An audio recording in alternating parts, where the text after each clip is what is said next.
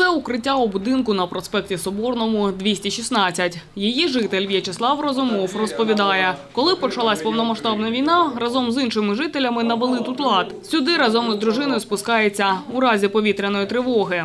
Раньше это был подвал, в котором жили бомжи.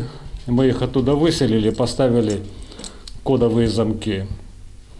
И вот когда началась война, стали сюда бегать. Тут мусор, грязь, кирпичи, крысы.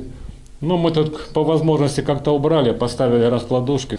Воды нет, вентиляции нет, туалета нет. Вот этот свет мы провели сами. Но потом пришли электрики вчера, еще на какие-то 3-4 лампочки вкрутили. За словами пана В'ячеслава, укриття розташоване між двома під'їздами та має два виходи. Каже, один з них зачинений. Я в своем, по- в своем подъезде все открыл, потому что, не дай бог. Они закрыли, не знаю почему они закрыли.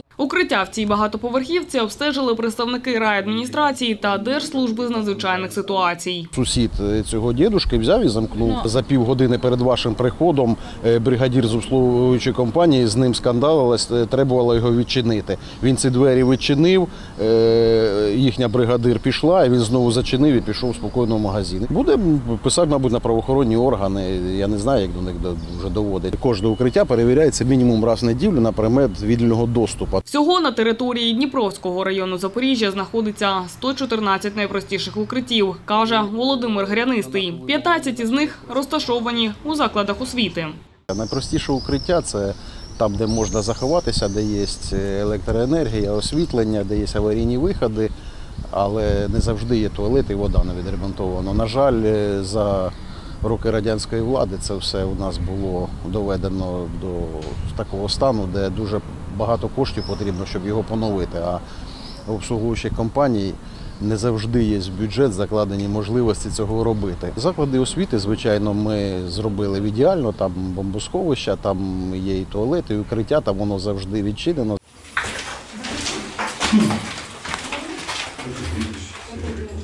Перевіряли укриття співробітники ДСНС разом із поліцейськими і в Олександрівському районі міста. Зачиненим виявилося в будинку на Фортечній 80. Мешканець триповерхівки Петро Серебряков каже, двері відчиняє, коли розпочинається повітряна тривога.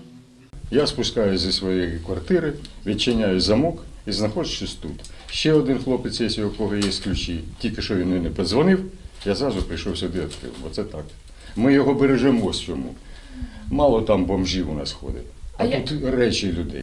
А вночі, коли Я підкидаюсь, у мене собака покидається. Я встав і прийшов сюди. Нагадаємо, перевірки укриттів по всій країні почались після того, як під час ракетної атаки вночі 1 червня у Деснянському районі Києва кілька людей загинули, не зумівши потрапити до закритого укриття. У Запоріжжі правоохоронці перевірили майже дві тисячі укриттів. Більше половини з них були зачинені. Поліцейські склали акти обстеження, які передадуть міській владі. Сказала речниця Нацполіції в Запорізькій області Анна Ткаченко. Дар'я Пасічник, Максим Савчук, Суспільне новини, Запоріжжя.